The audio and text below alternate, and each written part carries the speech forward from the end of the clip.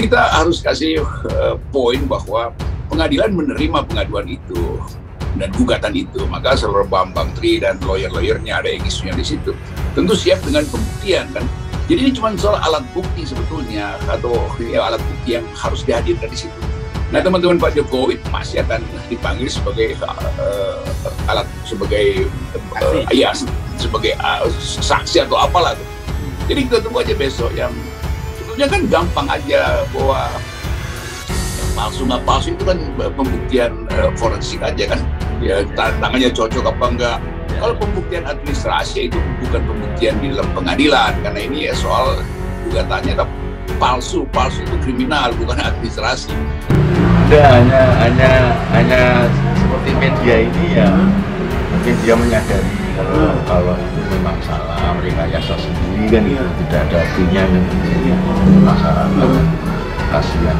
Dia juga prosesnya menjadi wali kota pun kan semua sudah dites semua kan iya, mesti harus komplit. Nah iya. ngapain harus macam-macam lah. Okay. jadi ya harus punya gitu ya. Dusta okay. terbawa ke mana-mana. Ya, ya jadi ya maksud saya ya menyadari kalau hal itu tidak benar ya. gitu tergantung terhadap terhadap apa. Kalau terhadap Bambang Tri saya nggak mau diam ini harus diungkap ini. Gitu. Jadi ya mulia. Jadi misalkan ini Fulan nyolong ayam nyolong sepeda saya akan diam. Itu karena kalau saya bongkar ke media itu aib itu namanya gibah karena hanya rakyat. Paling saya datangi kamu kenapa nyolong ayam nyolong sepeda begini-begini oke kembalikan ayamnya kembalikan sepedanya ini uang untuk menyelesaikan masalahmu. Tapi kalau yang nyolong ayam itu pejabat saya nggak mau diam yang mulia. Saya lawan saya hantam. Kalau yang nyolong itu presiden misalkan.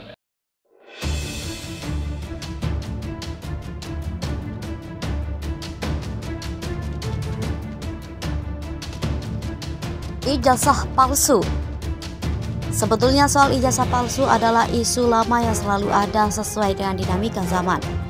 Dari tahun 1960-an, ketika kuda masih gigit besi, sampai sekarang orang gemut besi, terus saja ada bermunculan isu ijazah palsu.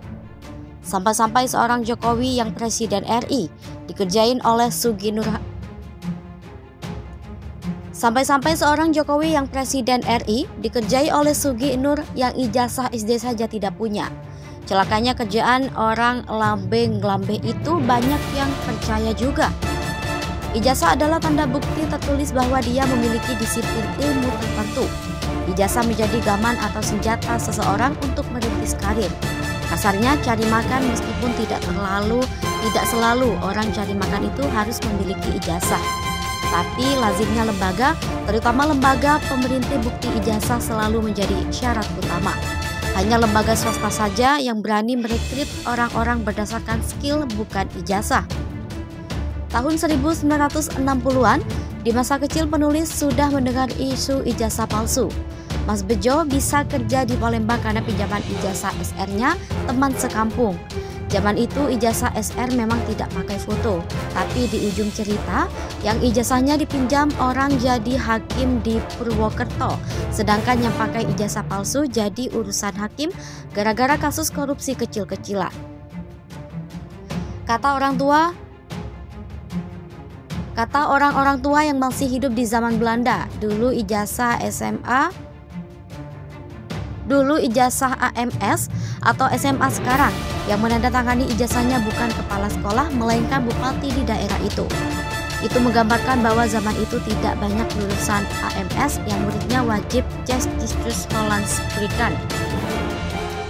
Jika zaman sekarang masih diberlakukan, seorang bupati bisa keju tangannya karena tiap tahun harus menekan ribuan ijazah murid SMA.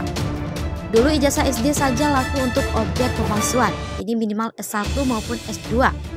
Belum lama ini terungkap sebanyak 73 ASN di Smailuf di Saim Sebanyak 73 ASN di Sem, di Simiolu, Provinsi Aceh ditindak karena ber, karena berijazah palsu. Bahkan September 2021 lalu, ijazah Jaksa Agung ST Burhanuddin sempat diisukan ada yang palsu. Tapi Menko Polhukam Mahfud MD menolak untuk menginter untuk mengintes untuk menginvestigasi karena itu bukan tupoksi Menko Polhukam. Yang paling lucu adalah pelawak Nurul Komar setelah beberapa bulan jadi rektor UMUS Brebes baru ketahuan ijazah palsu. Yang palsu bukan ijazahnya, baru SKL, S2, dan S3 saja sudah palsu. Soalnya pihak kampus UNJ Jakarta membantah pernah mengeluarkan SKL untuk ijazah S2 dan S3 Nurul Komar.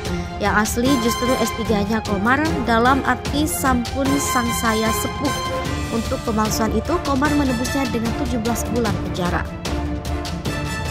Sekarang yang sedang ramai adalah kasus Bambang Tri dan Suginur.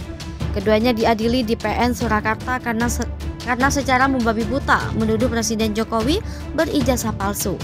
Inti perkaranya adalah soal penistaan agama dan ujaran kebencian, di mana semua itu berpangkal dari tuduhan duet Bambang Trisugi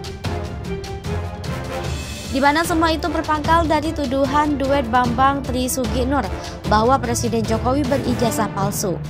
Yang lucu dan bikin orang ketawa berguling-guling, Suginur mempermasalahkan ijazah SMA dan sarjana presiden, sedangkan dia sendiri tak punya ijazah SD. Sebab baru sampai kelas 5 SD sudah drop out lantaran bermain debus bersama ayahnya untuk sesuap nasi. Dan sungguh tak menyangka dan tak mengira dikala kecil sampai remaja bermain debus, setelah dewasa Suginur menggedebus mengaku ustadz dan membodohi umat di mana-mana. Uniknya, ada saja orang yang percaya pada dakwah Suginur yang ternyata tak bisa baca Quran dan keliru menyebut jumlah ayat dalam surat-surat Al-Quran. Pihak ketika pihak kampus UGM dan SMA Negeri 6 Solo dan teman sekolah Jokowi memberikan kesaksian bahwa semua ijazah Jokowi asli adanya. Suginur makin terpojok dan kemudian buang badan. Maksudnya, gantian dia menyalahkan Bambang Tri bahwa tuduhan Bambang Tri ternyata keliru adalah tanggung jawab dia. Dirinya sebagai penggelar podcast lewat channel YouTube miliknya hanya memfasilitasi adapun isi konten mutlak tanggung jawab dia. Di sinilah semakin ketahuan Suginur mau menang diri sendiri, mau menang sendiri, dan mau untung sendiri. Ketika podcastnya bersama Bambang Tri viral dan meraup view dan subscribe banyak, duit mengalir ke koceknya. Tapi giliran resiko hukumnya dibebankan pada narasumbernya, orang Jawa bilang pinternya tipe dewe.